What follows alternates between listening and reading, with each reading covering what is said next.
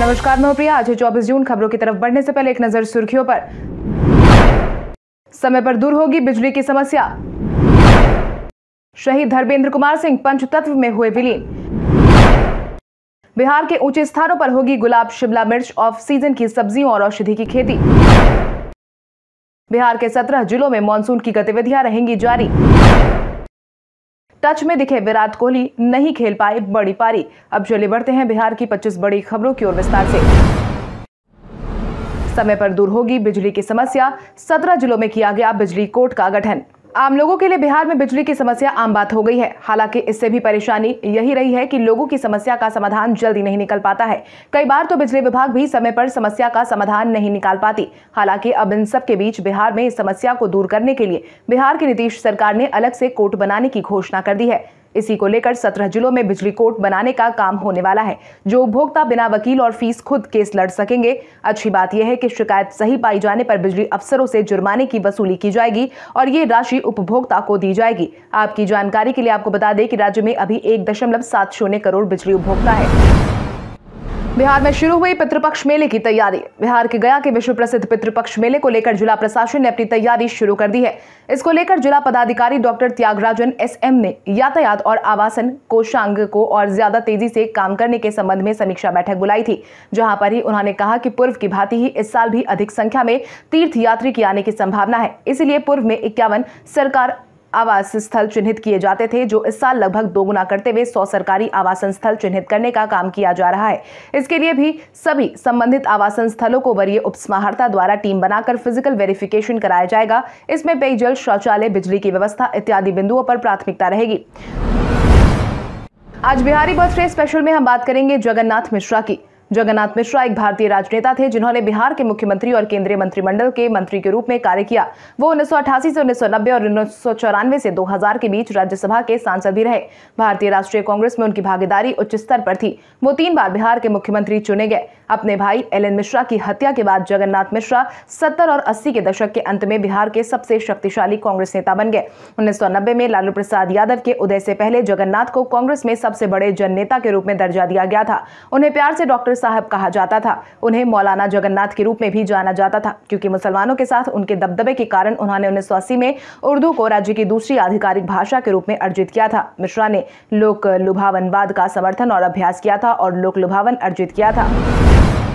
बिहार में बढ़ रहे हैं कोरोना के मामले। बिहार में कोरोना के मामलों में लगातार वृद्धि देखने को मिल रही है। स्वास्थ्य विभाग की तरफ़ से साझा की गई जानकारी के अनुसार बिहार में बीते दिन के पिछले 24 घंटे में कुल मिलाकर 116 मामलों की पुष्टि हुई, जिसके बाद अब एक्टिव मामलों की संख्या चार पर पहुँच गई है। इसके साथ ही अगर हम प्रभावित जिलों की बात करें तो अरवल में दो, बांका में तीन, बेगूसराय में दो, भागलपुर में तीन, भोजपुर में एक, दरभंगा में एक गया में पंद्रह कैमूर में तीन, कटिहार में चार, खगड़िया में एक, किशनगंज में दो, मुंगेर में एक, मुजफ्फरपुर में पाँच, पटना में संतावन पूर्णिया में एक, रोहतास में सात, सहरसा में एक, समस्तीपुर में एक, सारण में एक, सीतामढ़ी में एक, सिवान में दो। वहीं दो ऐसे मामलों की पुष्टि हुई है जो दूसरे राज्य के हैं, लेकिन इनके सैंपल बिहार के जिलों में कलेक्ट किए गए हैं। वहीं बीते दिन के पिछले चौबीस घंटे में कुल मिलाकर एक लाख छप्पन हज़ार तीन सौ तिरपन सैंपल की जाँच की गई। वहीं इस दौरान चौतीस मरीज़ ठीक होकर घर वापस लौटे हैं। अब बारह घंटे दिन भर में करना होगा काम। हर दिन काम करने की निर्धारित समयावधि में जल्द ही बड़ा बदलाव होने वाला है। इसके तहत अब हर दिन कर्मचारियों को आठ घंटे की जगह बारह घंटे का काम करना पड़ सकता है। जानकारी के अनुसार अब इस संबंध में केंद्र सरकार एक जुलाई से अब नए लेबर कोड को लागू करने जा रही है, जिसके बाद अब कर्मचारियों को सप्ताह में अड़तालीस घंटे ही काम करने होंगे। यानी अगर वो एक दिन में बारह घंटे काम करते हैं तो उन्हें सप्ताह में केवल चार दिन काम करना होगा। मीडिया में चल रही खबरों के अनुसार सालों पुराने लेबर कानून की जगह अब केंद्र ने चौवालीस सेंट्रल लेबर एक्ट को मिलाकर ये चार नए लेबर कोड तैयार किए हैं। कई कंपनियाँ इसकी तैयारी कर रही है। शहीद धर्मेंद्र कुमार सिंह पंचतत्व में हुए विलीन। एक बार फिर से बिहार का एक बेटा देश की रक्षा में अपने प्राण न्यौछावर कर चुका है। सीआरपीएफ कांस्टेबल धर्मेंद्र कुमार सिंह मंगलवार को छत्तीसगढ़ और उड़ीसा की सीमा पर न्यौपड़ा ज़िले के पथधारा क्षेत्र में नक्सलियों से मुठभेड़ में शहीद हो गए। धर्मेंद्र कुमार सिंह बीते दिन शहीद जवान को श्रद्धांजलि देने के लिए पैतृक गाँव रोहतास के सरैया के अलावा आसपास के कई गाँव के लोग इकट्ठा हुए और शहीद धर्मेंद्र को श्रद्धांजलि दी। इसके बाद शहीद धर्मेंद्र को उनके बारह साल के बेटे ने मुखाग्नि देकर अंतिम संस्कार किया। बता दें कि बुधवार देर रात शहीद धर्मेंद्र कुमार सिंह का शव उनके गाँव पहुँचा था। वहीं बीते दिन पूरे रीति रिवाज से उनका अंतिम संस्कार किया गया। इस दौरान सीआरपीएफ के जवानों ने राइफल से फायरिंग कर अपने दिवंगत साथी को श्रद्धांजलि अर्पित की। मधुबनी के कपिलेश्वर मंदिर में आपको देखने को मिलेगा बहुत कुछ खास। ये मंदिर रहिका प्रखंड में कपिलेश्वर गाँव में स्थित है। मान्यता है कि ये मंदिर कपिल मुनि द्वारा स्थापित है। यहाँ सालों भर प्रतिदिन भारी संख्या में श्रद्धालुओं द्वारा दर्शन, पूजन और जलाभिषेक किया जाता है। साथ ही यहाँ प्रतिवर्ष श्रावण मास में एक महीने तक श्रावणी मेले का आयोजन किया जाता है। इस दौरान यहाँ पर सांस्कृतिक कार्यक्रम का भी आयोजन किया जाता है। धान की इस प्रजाति से होगी अच्छी पैदावार। बिहार के किसानों के आय में जल्द ही बढ़ोतरी देखने को मिलने वाली है, क्योंकि अब बिहार के किसानों को धान की एक खास प्रजाति के ज़रिए अच्छी पैदावार कर मुनाफा कमाने का मौका मिलने वाला है। राजेंद्र केंद्रीय विश्वविद्यालय के विज्ञानियों ने धान की नई प्रजाति राजेंद्र सरस्वती विकसित कर प्रदेश के किसानों को एक नया उपहार दिया है, जिसके तहत ही अब इस प्रजाति को केंद्रीय शोध संस्थान ने भी किसानों के लिए जारी कर दिया है। अब बिहार राज्य बीज निगम इसका बीज किसानों को मुहैया करवाने जा रही है। इसको लेकर ही अब तैयारियों को तेज कर दिया गया है। राजेंद्र केंद्रीय कृषि विश्वविद्यालय के डीन ने इस बात की जानकारी दी। साथ ही बताया कि सरकार की ये नई व्यवस्था मध्यम दर्जे के खेतों के लिए है। रेलवे ने पाँच आरओबी निर्माण की दी सहमति बिहार में सड़क यातायात को सुगम बनाने के लिए बिहार सरकार लगातार प्रयासरत है। इसी बीच आने वाली समस्या से भी जल्द निपटने की हर संभव कोशिश कर रही है। इस बीच Patna Gaya Dobhi NH four lane निर्माण की बाधा पर सुनवाई करते हुए पटना हाईकोर्ट के चीफ जस्टिस संजय करोल की खंडपीठ के जनरल मैनेजर को रेलवे ने बताया कि इस एनएच तेरासी में सभी पाँचों आरोपी के निर्माण की सहमति दे दी गई है। सभी आरोपी के निर्माण की कार्रवाई शीघ्रता से होगी। साथ ही पटना और जहानाबाद के डीएम, एसपी और इस टीम के साथ रहेंगे। अगली सुनवाई में ये टीम कोर्ट को रिपोर्ट देगी। कोर्ट ने पिछली सुनवाई में जिला प्रशासन को जिनका भूमि का भूमि अधिग्रहण किया गया है, उन्हें मुआवजा देने की कार्रवाई में तेज़ी लाने का निर्देश दी थी और अब इस मामले पर अगली सुनवाई 30 जून 2022 को होगी। शिक्षा विभाग के प्रधान सचिव के वेतन भुगतान पर अगले आदेश तक लगाई गई रोक। पटना हाईकोर्ट ने शिक्षा विभाग के प्रधान सचिव सहित वैशाली ज़िले के वरीय शिक्षा पदाधिकारियों के वेतन भुगतान पर अगले आदेश तक रोक लगा दी है। दरअसल कोर्ट को बताया गया है कि साल 2008 के शिक्षक नियोजन की रिक्तियों के आलोक में जिला शिक्षक प्राधिकार के आदेश पर 2018 में इन शिक्षकों की नियुक्ति प्रखंड शिक्षक के पद पर की गई थी। नियुक्ति के बाद इन तमाम शिक्षकों से लगातार काम भी लिया जाता रहा। लेकिन जब भी वेतन भुगतान की बारी आई तो शिक्षा विभाग ने उनकी अहर्ता पर सवाल उठाते हुए वेतन पर रोक लगा दी। वहीं कोर्ट को बताया गया है कि हाईकोर्ट ने पिछले साल नवंबर में ही शिक्षा विभाग को आदेश दिया था कि नियुक्ति होने के बाद वेतन पर अहर्ता को लेकर रोक लगाना अनुचित है। वहीं छह महीने बीतने के बाद भी विभाग की तरफ़ से न ही कोई ठोस उपाय निकाले गए और न ही शिक्षकों को वेतन का भुगतान किया गया। मामले पर अगली सुनवाई ग्यारह जुलाई को होगी। बिहार में रेल परियोजना अब भी नहीं हुई सामान्य। अग्निपथ योजना के खिलाफ बिहार में हुए भारी विरोध प्रदर्शन के कारण रेलवे को आंदोलनकारियों और शरारती तत्वों ने जमकर निशाना बनाया। पिछले हफ़्ते ही इस पर भारी विरोध देखने को मिला था, जिसके तहत ही कई ट्रेनों में आग लगा दी गई थी तो वहीं कुछ स्टेशन भी जला दिए गए थे, या तोड़फोड़ हुई। इस वजह से ही अब सत्रह जून से ही बिहार में रेल परिचालन बुरी तरह से बाधित हुआ है। हालाँकि मंगलवार इक्कीस जून से कई ट्रेनों को नियमित रूप से शुरू तो कर दिया गया, लेकिन इसके बावजूद अभी भी कई ट्रेनों का परिचालन शुरू नहीं हुआ है। पूर्व मध्य रेलवे ने गुरुवार को भी पटना सहित कई अन्य स्टेशनों से खुलने वाली कई ट्रेनों को रद्द रखा। इसमें Patna, Ernakulam express, Danapur Sahibganj, intercity, Danapur Rajgir, intercity जैसी प्रमुख ट्रेनें शामिल है। बिहार के ऊँचे स्थानों पर होगी गुलाब, शिमला मिर्च, ऑफ़ सीज़न की सब्जियों और औषधि की खेती। बिहार के लगभग 2.5 लाख वर्ग मीटर में फैले ऊँचे स्थानों पर अब गुलाब, शिमला मिर्च, ऑफ़ सीज़न की सब्ज़ियाँ और औषधि की खेती होगी।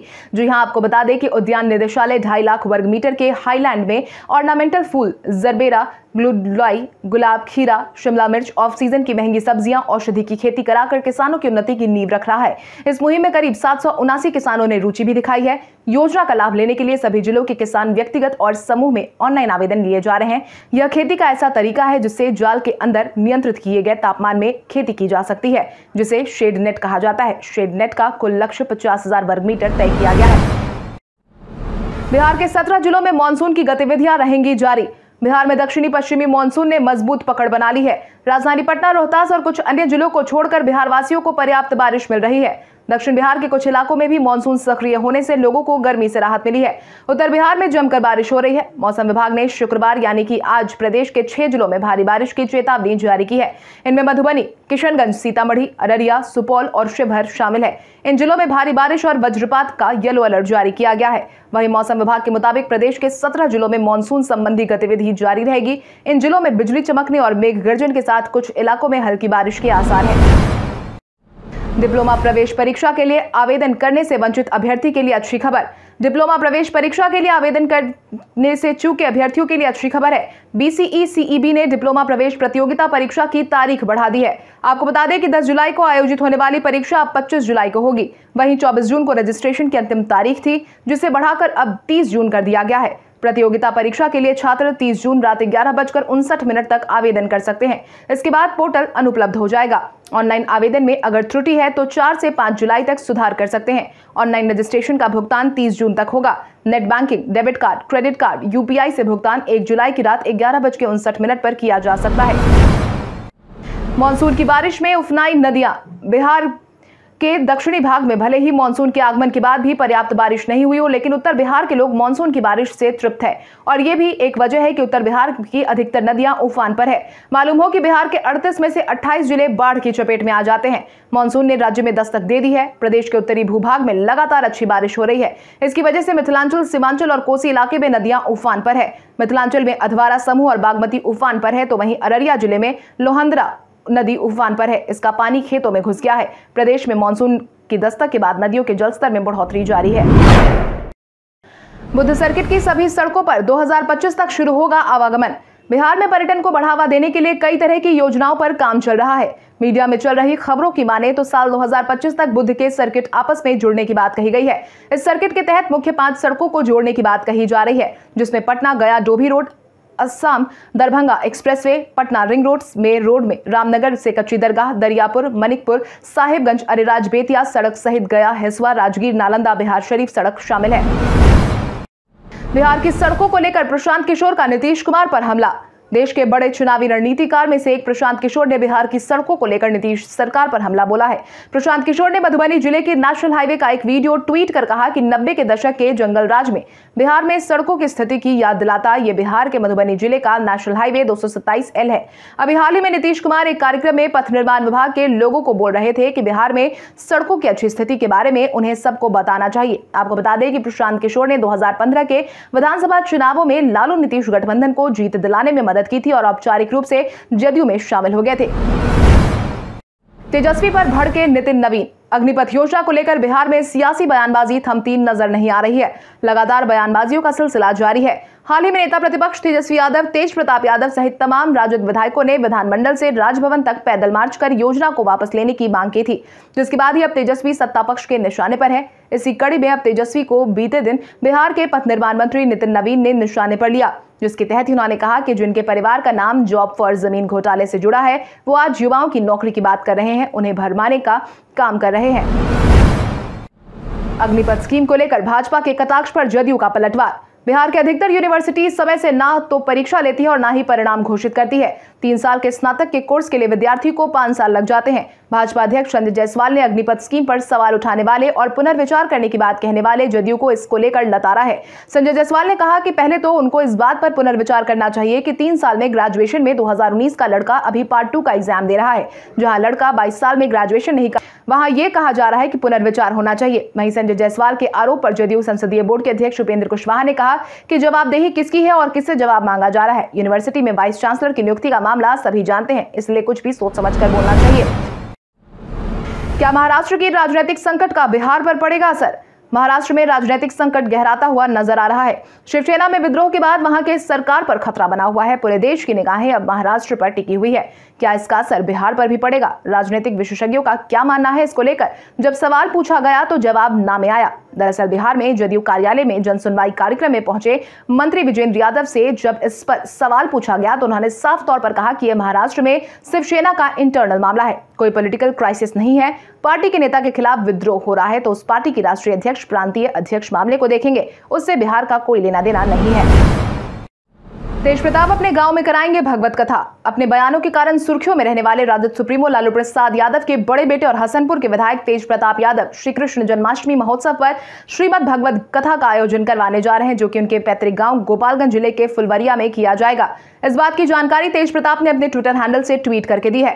जिसके तहत ही तेज प्रताप ने ट्वीट करते हुए लिखा कि कलयुग में श्री भगवत कथा सुनने मात्र से सोया हुआ ज्ञान, वैराग्य कथा श्रवण से जागृत हो जाता है। कथा कल्प वृक्ष के समान है, जिससे सभी इच्छाओं की पूर्ति की जा सकती है। आपकी जानकारी के लिए आपको बता दें कि इस श्री भगवत गीता कथा का आयोजन 19 से 25 अगस्त तक शाम छह बजे से रात नौ बजे तक किया जाएगा और इसे फेसबुक पर लाइव भी किया जाएगा। भारत के इतिहास में आज की तारीख कई कारणों से दर्ज। उन्नीस सौ अड़तालीस में विश्व स्वास्थ्य संगठन की पहली विश्व स्वास्थ्य परिषद जिनेवा में आयोजित की गई। उन्नीस में डाक एवं टेलीग्राफ विभाग ने राष्ट्रीय टेलेक्स सेवा की शुरुआत की। अठारह सौ उनहत्तर में हरी चापेकर का जन्म हुआ था। British commissioner W C Rand की जान लेने वाले क्रांतिकारी चापेकर बंधुओं में सबसे बड़े थे। उनके दादा का नाम विनायक था और उनकी माता और पिता क्रमशः द्वारका और हरि थे। आज ही के दिन सुमोना चक्रवर्ती भारतीय अभिनेत्री का जन्म साल उन्नीस को हुआ था। टच में दिखे विराट कोहली नहीं खेल पाए बड़ी पारी। कवर ड्राइव कट शॉट और पुल शॉट ये कुछ ऐसे शॉट है जिनका नाम ज़ुबान पर आते ही विराट कोहली का नाम जहन में आता है। विराट कोहली ने यह बेहतरीन शॉट लिसेस्टर शायर के खिलाफ वार्म अप मैच में लगाए। विराट कोहली टच में ज़रूर नज़र आए, लेकिन वो ज़्यादा बड़ी पारी खेल नहीं सके। विराट कोहली ने अपनी पारी की शुरुआत शानदार कवर ड्राइव से की थी, जिस पर उन्होंने चौका जड़ा था। बल्लेबाज विराट कोहली इस समय इंग्लैंड में है और वो लिसेस्टर शायर के खिलाफ चार दिवसीय वार्म अप मैच में खेल रहे हैं। इसी मैच में वो पहली पारी में उनहत्तर गेंद में चार चौके और एक छक्के की मदद से तैतीस रन की पारी खेलते हुए कामयाब हुए। इस दौरान उन्होंने कवर ड्राइव और चौका, कट शॉट और चौका और पुल शॉट पर छक्का जड़ा। रजिस्टर्ड फ़ोन नंबर के बिना ऐसे ऑर्डर करें आधार पीवीसी कार्ड। भारतीय विशिष्ट पहचान प्राधिकरण जो नागरिकों को आधार कार्ड जारी करता है, भविष्य में उपयोग के लिए इसे सहेजने और डाउनलोड करने के लिए कई ऑप्शन प्रदान करता है। इन्हीं में से एक आधार पीवीसी कार्ड है। इसकी अच्छी बात यह है कि इसे आसानी से कहीं भी ले जाया जा सकता है। साथ ही इसके बारिश में भींगने और कटने फटने का टेंशन भी नहीं रहता। इसके अलावा पीवीसी आधार कार्ड में digitally signed Aadhaar secure QR code के साथ फ़ोटो और डेमोग्राफिक डिटेल्स समेत कई सिक्योरिटी फीचर्स मिलते हैं और इसके लिए आपको एक मामूली रकम का भुगतान करना है। आधार कार्ड उपयोगकर्ता इसे यू या रेसिडेंट से ऑनलाइन ऑर्डर कर सकते हैं। पटना हाईकोर्ट के जज अब रखेंगे आईफोन। पटना हाईकोर्ट के सभी जज अब अपने पास आईफोन रखने वाले हैं। जजों का आईफोन देने के लिए निविदा भी जारी हो चुकी है और जल्द ही सभी जजों के हाथों में आईफोन 13 प्रो दो सौ छप्पन जीबी देखी जा सकती है। हाईकोर्ट की तरफ़ से इसको लेकर टेंडर भी जारी कर दिया गया है। इसमें ही आपूर्तिकर्ता के लिए कुछ नियमों को लागू किया गया। जिसके तहत ही अब कोर्ट की तरफ़ से टेंडर जारी करते हुए सप्लायर और अधिकृत डीलरों से कोटेशन की मांग की गई है, जिसमें यह स्पष्ट किया गया है कि GST number, PAN, Aadhaar, email और एक पंजीकरण मोबाइल नंबर का उल्लेख करना अनिवार्य है। कल हमारे द्वारा पूछे गए सवाल का जवाब आप में से बहुत सारे यूज़र ने हमें कमेंट करके दिया था। उसके लिए आपका बहुत बहुत धन्यवाद। आप में से जिन यूज़र ने हमारे सवालों का सही जवाब दिया है, उनके नाम है आकाश पटेल, गीता कुमारी, कुलदीप कुमार, मनु कुमार दिलखुशराज शंभू शंभू, रंजीत मिश्रा, नरेंद्र कुमार उपाध्याय, सचिन कुमार, हरेंद्र कुमार। आप इसी तरह हमारे सवालों का जवाब देते रहे। हम हर दिन वीडियो के अंत में आपका नाम लेने की पूरी कोशिश करेंगे। तो चले बढ़ते हैं आज के सवाल की। और आज का सवाल कुछ इस प्रकार है।